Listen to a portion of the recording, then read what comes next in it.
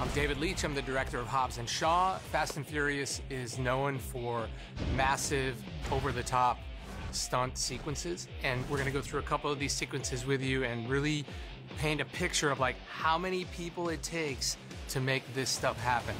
It's gonna blow your mind. And action!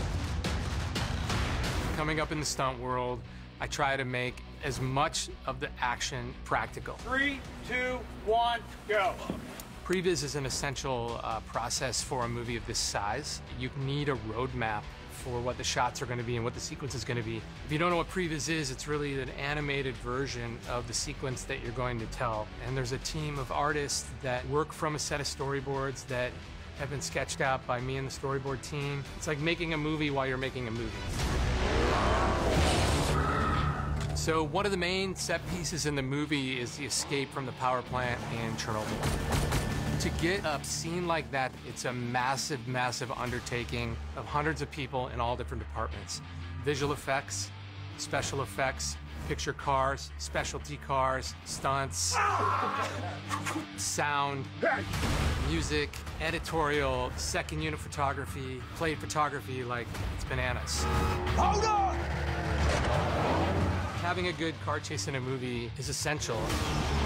There was a lot of practical wire work and practical car work enhanced by CGI. The more real stuff on camera, the more we challenge the digital artists to match that reality.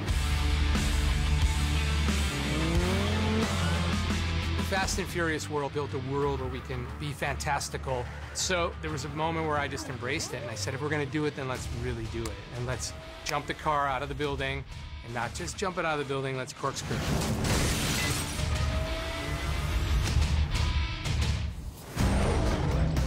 Final car set piece is the hooking of the helicopter in Samoa.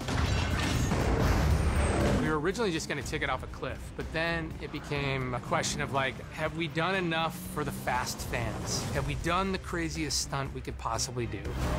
Idea was put on the table. What if the Blackhawk was going to lift our heroes up, and it's a tug of war between Hobbs's family and Brixton? I loved that as a metaphor for the family reuniting.